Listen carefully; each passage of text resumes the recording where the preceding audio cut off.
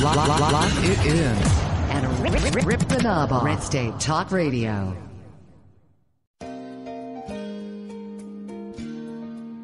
My Parents Open Carry, a pro gun kids book from White Feather Press. 13 year old Brenna and her parents spend their day in typical fashion. But what's not so typical is that Brenna's parents lawfully open carry handguns for self defense. And the Strongs join a growing number of families who are standing up for their Second Amendment right and bringing gun ownership out of the closet. Order your copy of this unique kids book at myparentsopencarry.com.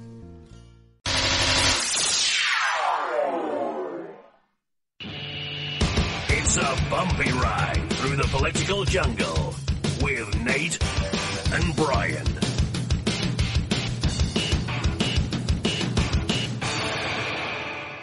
Believe me, if I started murdering people, there'd be none of you left.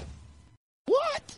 If you're 85 or younger, would you like peace of mind and comfort for your family? We're Final Expense Direct with an urgent message for you. The average funeral today costs over $8,000, but the most you'll get from government benefits is $255. How will your family pay the difference? We can help. Our senior plans start as low as just a dollar a day and pay up to $30,000 for a funeral and other final expenses. Peace of mind is easy. There's no medical exam. You'll have lifetime coverage, and your plan can't be canceled as long as you pay your premiums. Call now for free information about our senior plans. Answer a few simple questions and receive approval right on the phone. Plus, call right now and we'll give you a discount prescription card for free. Call 800 350 3211. That's 800 350 3211. Again, 800 350 3211.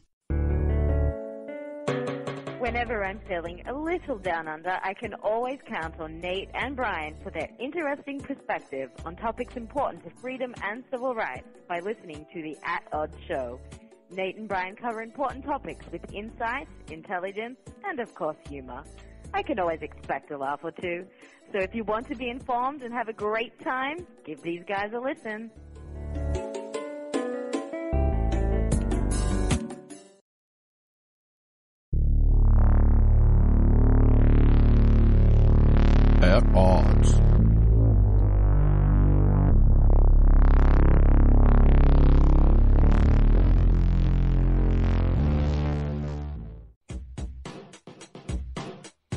The At Odd Show with the greatest political talk show hosts in history, Nate and Brian. Nate and it's sad that they actually believe that. So give a listen because the delusional need love too.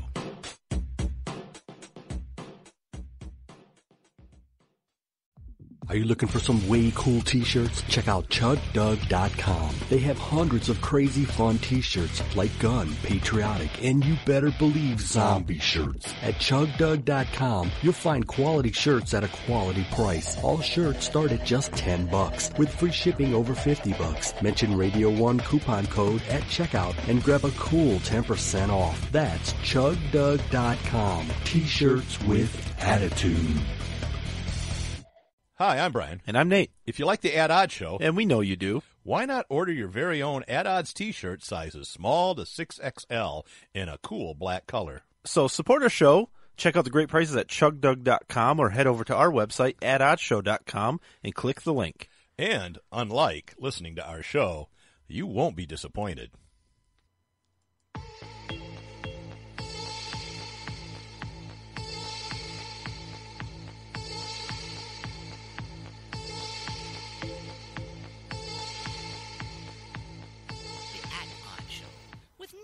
Nate and may you be in heaven a half an hour before the devil knows you're dead.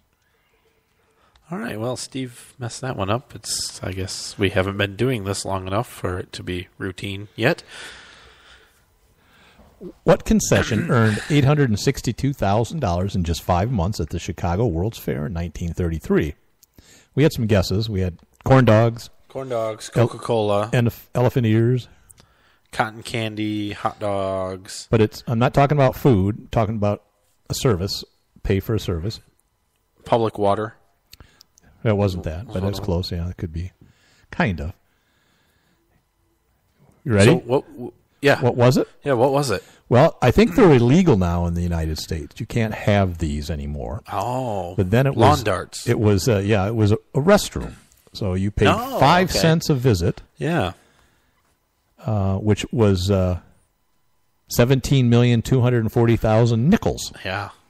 And you came up with I how many a day? That's a, about 114,000 people using the bathroom per day. That's 80 about 80 people per minute. yeah, That's a lot.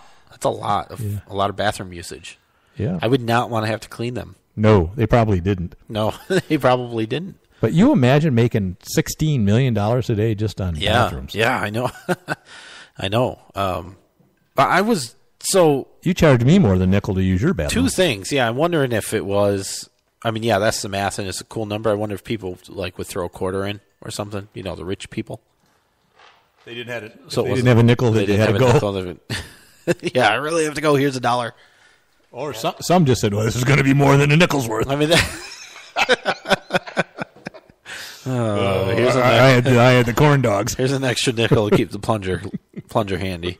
So here's the other thing: when elephant ears, I thought was a good was a, Guess, yeah. was a good guess. So I did a little research and got completely disappointed. Uh-huh. And I'm not sure if I can ever eat one again because according to Wikipedia, Yeah.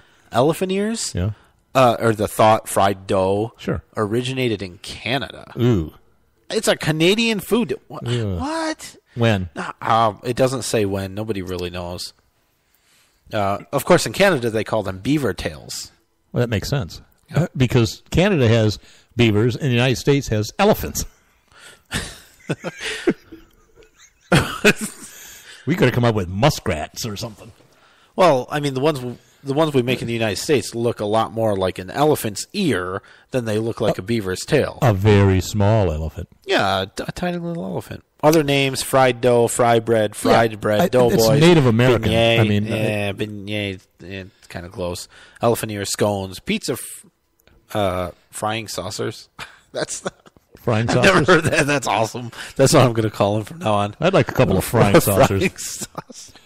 I bet the Canadians what they did is they probably scored the dough in a crisscross Oh, you think, pattern you think that so? looked like a beaver's tail. Let me look up an image. You do that, and I'll talk about this day in history. Because on this day in history, in 1775, George Washington accepts an assignment to lead the Continental Army. Brian, What? I'm right, aren't I? you're right. You're absolutely right. Yeah. they look like beaver tails. Yep. Ah, those tricky Canadians. when it when Canada attacks, and they will, we got to be ready. tricky Canadians. I'm sorry. This day in history. What? Washington accepts uh, the assignment to lead the Continental Army. Oh, wow, he yeah. had been managing his family farm and stuff, and he was serving in the uh, Virginia House of Burgesses. When the second, second Continental Congress unanimously voted to have him led, have him lead the Revolutionary Army. Now, I don't think he was there for the vote. Yeah. like, let's get that yeah. Yeah. dumbass like, Washington. Wait, where's Where's George? He's not here. Well, he gets it. He did. He did have military experience. He was a commander for the British Army in the. French and Indian War of 1754. He d- he was yeah. It was a risky choice. It Not- was. not I- sure he was the best choice. It it worked out. It worked out. So it ended up being the right choice. But I don't know, I man. think he was motivated. He got lucky. But he didn't really want to do it. I don't think. I mean, he knew what a commitment it was going to be, Oh, probably didn't think he would live. and yeah, and what a target he was. Yeah. But uh, the rest, as they say, is Hey, history. It got foggy, and he got lucky.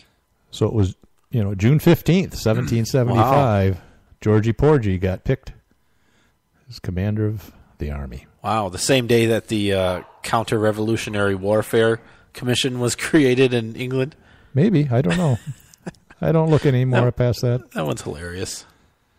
But speaking of uh, counterterrorism, Oh yeah, Dennis Rodman is our greatest hero yeah, he really is. Yeah. Uh, What a he brave man. Went to North Korea again. again. Yeah. Um, not sure why. He he said he's trying to. He's Oh, Kim Jong Un, they He- love uh, Dennis Rodman. It's because he's so tall and he just can't understand it. But oh, I look up to you, Dennis. Way up to you. Yeah. but uh, he said he's trying to improve the relations. He was asked by a reporter, "Is this uh, in concert with the Trump administration? Like, do they know about it, and are you working with them?" And he said, Well, I think they're very happy about it. The Koreans, North Koreans The Trump administration. Oh, they're happy that he's They there. asked Dennis Rodman Well, if he you- was working with the Trump administration for his trips and Yeah. this whole effort. He didn't really answer the Sure, question. he, he said wasn't. they're happy. Yeah. He said that. He, Dennis Rodman said he thinks the Trump administration is happy with it. They haven't said that. No, I, they didn't say that. Well, let's let's. You want to read the gifts he brought? I mean, these are fantastic. oh, this is this is amazing. okay. And This is what he brought and gave to uh, Yeah, Kim Jong Un. the best one is he brought a copy of The Art of the Deal, Right, one of Trump's- Trump's, uh, probably his most popular book, Right. which is hilarious. Mhm. He he brought a copy of Where's Waldo, oh, you crazy Americans! Oh, crazy Waldo. I never find him in there. a, a mermaid puzzle, Right. two sets of soap because Yeah. Kim, Kim, uh, Kim Jong Un is a little smelly, Yep. and autographed jerseys. I Yeah. assume his own. I don't know. yeah, they wouldn't. Yeah, they were football. Maybe like jerseys. Mu- I was thinking like Muggsy Bogues or something that you know about the same height as them. One of the shorter baseball players or bas- baseball. Well, it might have been a baseball jersey. I don't know, but but that's hilarious. He brings Trump's book, Mhm. which is funny. Right. I mean, it- is he in North Korean prison yet? I don't know why he isn't. yeah, it's weird. Well, because he's so much bigger than all of them. Oh, we can't take him down. He's like Godzilla.